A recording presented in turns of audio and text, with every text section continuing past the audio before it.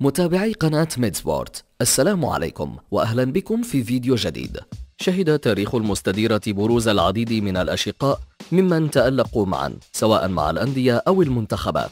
وحاليا تزخر ملاعب الكرة بالعديد من الأشقاء المعروفين. لكن هؤلاء غالبا ما نجد أحدهما متألقا ويلعب لأندية كبرى. أما الآخر فيلعب لأندية مغمورة. ولا نعرف عنه شيء. سوى كونه شقيق أخيه النجم. باستثناءات قليلة لأشقاء بعضهم توأم. يلعبون ويتألقون معا بأقمصة أندية كبيرة. وهم موضوع فيديو اليوم من قناتكم ميد سبورت بحيث سنعرض لكم تقريرا بأفضل سبع أشقاء في عالم كرة القدم حاليا. فابقوا معنا. قبل أن نبدأ هذا الفيديو لا تنسوا الإعجاب الاشتراك وتفعيل جرس التنبيهات ليصلكم جديدنا. الشقيقان بندر. التوأم الألماني لارس بندر وسفين بندر صاحبا 30 عام يدافعان سويا عن ألوان باير ليفركوزن في الوقت الحالي حيث ينشط لارس كلاعب وسط مدافع أو كظهير أيمن في بعض الأحيان. وكان قد بدأ مشواره الاحترافي بصفوف نادي ميونخ 1860 ثم انتقل عام 2009 إلى باير ليفركوزن الذي يحافظ على مركز أساسي بين صفوفه حتى الآن.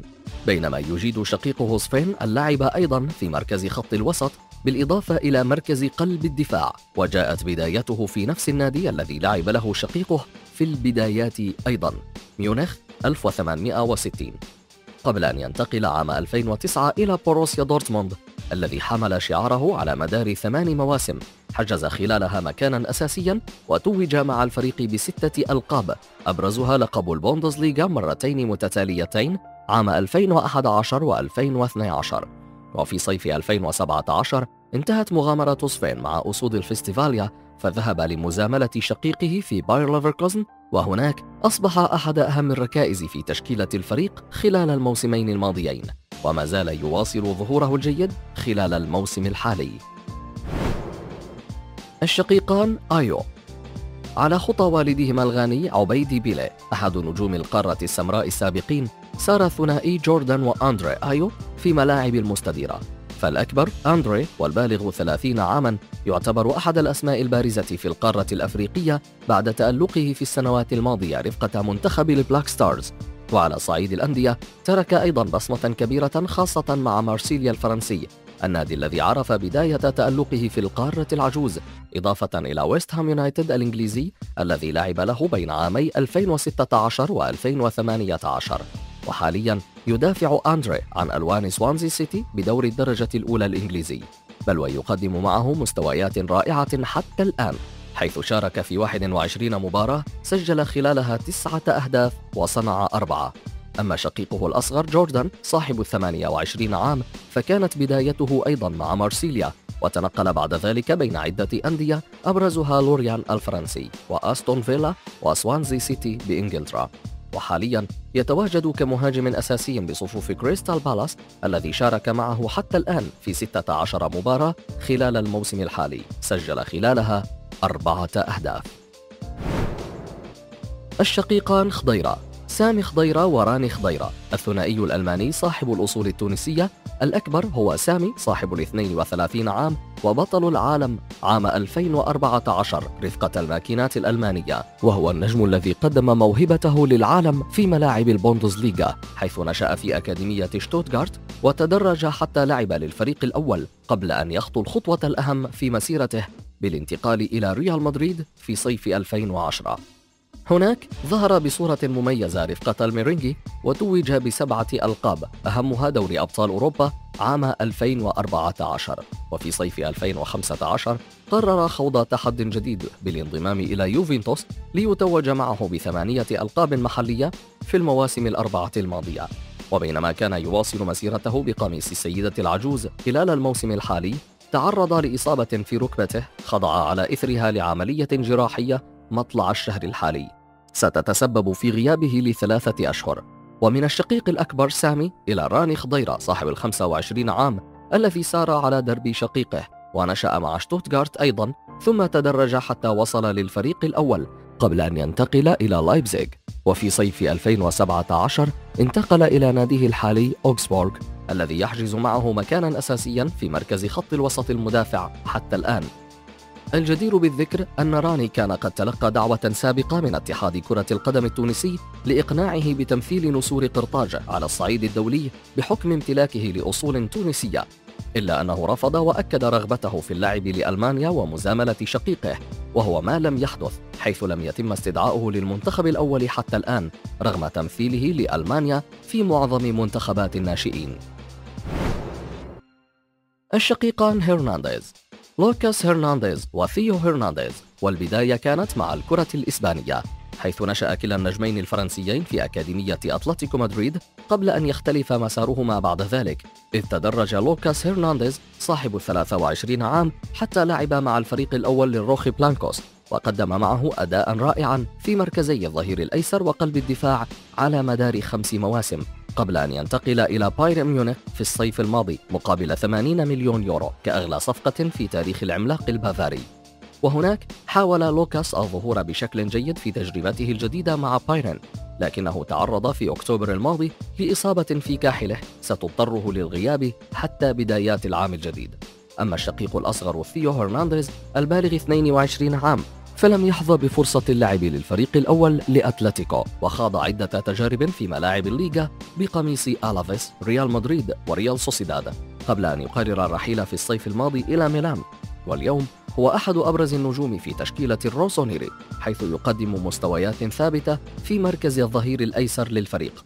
وشارك حتى الآن في 13 مباراة صنع خلالها هدف وسجل أربعة أهداف حاسمة. ضمنت له رقما قياسيا كأول ظهير في تاريخ ميلان ينجح في تسجيل أربعة أهداف في موسمه الأول مع الفريق.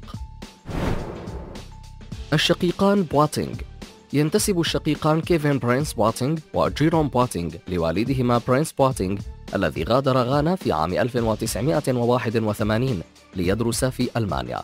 وهناك أصبح لديه الطفلين جيروم وكيفن وكلاهما بدأ مسيرته في فريق هيرتا بيرلين واستمرا في صفوفه حتى عام 2007 ثم افترقا فيما بعد ليلعبا لأندية مختلفة ومنتخبين مختلفين حيث اختار كيفن صاحب ال 32 عام أن يلعب لموطنه الأصلي غانا. ومثل أندية عديدة أبرزها توتنهام وروسيا دورتموند ميلان شالكا وكانت له مغامرة غير جيدة بقميص برشلونة في الموسم الماضي كمعار من ساسولو وحاليا يلعب بصفوف فيورنتينا. حيث شارك حتى الآن في 12 مباراة. سجل هدفا وحيدا. أما الشقيق الأصغر جيروم ابن الواحد وثلاثين عام فقرر ارتداء قميص البلد التي ولد بها ألمانيا وحمل مع الماكينات كأس العالم 2014 وعلى مستوى الأندية لعب لهامبورغ ومانشستر سيتي بعد مغادرته هيرتا بيرلين قبل أن ينضم إلى ناديه الحالي بايرن ميونخ في صيف 2011 وعلى مدار تسع مواسم متواصلة حتى الآن توج بخمسة عشر لقبا. ورغم تراجع مستواه في المواسم الثلاثة الماضية إلا أنه يبقى أحد أهم وأبرز الوجوه الدفاعية في الكرة الألمانية. الشقيقان ألكانتارا خريجا أكاديمية لاماسيا تياغو ورافينيا ألكانتارا. هما أبناء النجم البرازيلي السابق مازينيو الفائز بكأس العالم 1994 مع البرازيل. وعلى مدار مسيرتهما الكروية سلك كل منهما طريقا مختلفا عن الآخر سواء على صعيد الأندية أو المنتخبات. فالأكبر سنا وهو تياغو صاحب الثمانية وعشرين عام لعب للفئات السنية لإسبانيا واختار تمثيل منتخبها الأول. ومع الأندية كانت له تجربة لا تنسى مع الفريق الأول للبارسا بعد تصعيده حيث توج معه بثمانية ألقاب قبل أن يرحل إلى بايرن ميونخ في صيف 2013 ليحرز معه 13 لقبا حتى الآن وما زال يحتفظ بمكانة هامة في خط وسط الفريق باعتباره أحد أبرز لاعبي العالم في مركزه. أما الأصغر وهو رافينيا البالغ 26 عاما فعلى غرار شقيقه مثل منتخبات إسبانيا للناشئين لكنه قرر حمل قميص المنتخب الأول لبلده الأم البرازيل. أما على مستوى الأندية وعلى الرغم من تتويجه ب 12 لقبا مع الفريق الأول للبارسا إلا أنه لم يستطع الظفر بمركز أساسي لفترات طويلة. وبسبب ذلك إضافة لتعدد إصاباته التي لطالما حرمته من تقديم كل ما يملك كان قد خرج كمعار في 2013 إلى سيلتا فيغو وفي 2018 إلى إنتر ميلان قبل أن تتكرر إعارته إلى سيلتا فيغو في الصيف الماضي. وخلال الموسم الحالي شارك مع الأخير في 12 مباراة سجل خلالها هدفا واحدا. الشقيقان هازارد نبدأ بجناح ريال مدريد وصاحب الشعبية الأكبر إيدن هازارد الذي سيكمل عامه التاسع والعشرين في يناير المقبل وهو النجم الذي بزغ مع ليل الفرنسي في بداية مشواره الكروي قبل أن ينتقل إلى تشيلسي ليقضي معه سبع مواسم بصم خلالها على مستويات مبهرة. وتوج مع الفريق بستة ألقاب لكنه اختار في الصيف الماضي الرحيل إلى ريال مدريد ليحقق حلما طال انتظاره. وبقميص الميرينجي لم تكن بداية هازارد بنفس التوهج الذي كان عليه في ستامفورد بريدج لكنه سرعان ما استعاد توازنه. وبينما كان على وشك العودة لأفضل مستوياته تعرض لإصابة بشرخ في قدمه ويغيب حاليا عن المستطيل الأخضر مع توقعات بعودته بداية العام الجديد.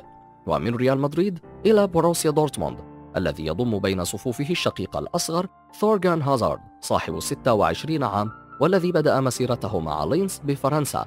وبلغ قمة تألقه مع بوروسيا مونشنغلادباخ الذي لعب له بين عامي 2014 و2019 قبل أن ينتقل إلى دورتموند في الصيف الماضي. ومع أسود الفستيفاليا واصل ثورغان تألقه وأصبح أحد أبرز نجوم الفريق والبوندسليغا ككل. إذ شارك حتى الآن في 21 مباراة مع دورتموند. سجل خلالها أربعة أهداف وصنع ثمانية. ويشكل ثورغان بجانب شقيقه الأكبر إيدن أحد أهم أسلحة منتخب بلجيكا بالوقت الحالي. إن أعجبك هذا الفيديو من قناة ميد سبورت فلا تبخل علينا بضغط زر الإعجاب والاشتراك بالقناة ولكي يصلك كل جديد قم بتفعيل جرس التنبيهات.